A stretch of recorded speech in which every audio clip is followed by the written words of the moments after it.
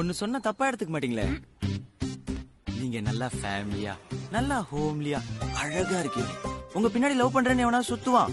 அவனை நம்பி தயவு செஞ்சு லவ் பண்ணி வேஸ்டா போயிடாதீங்க ப்ளீஸ் உங்க அப்பா அம்மாவா பார்த்து இவனை கட்டிக்கோ நல்லா இருப்பேன்னு சொல்லுவாங்க.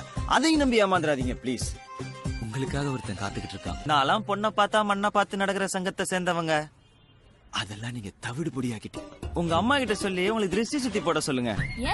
நான் ரொம்ப கண்ணு வச்சிட்டேன்.